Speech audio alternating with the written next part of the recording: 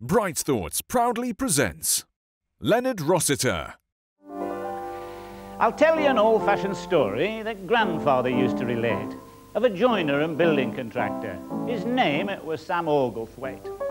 In his shop on the banks of the Irwell, old Sam used to follow his trade in a place you'll have heard of called Bury, You know, where black puddings is made. Revisit Magical Moments. Please check out the links for more information and licensing inquiries. Original TV productions from the Bright Thoughts Company.